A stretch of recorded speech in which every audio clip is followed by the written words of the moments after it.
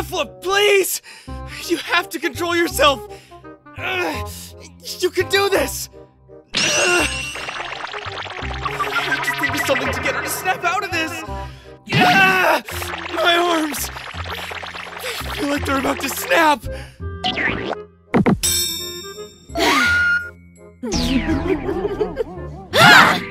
Kef?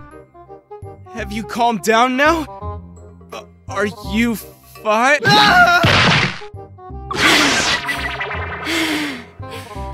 Get ready, Cabby. I'm gonna ride you to oblivion. Oblivion?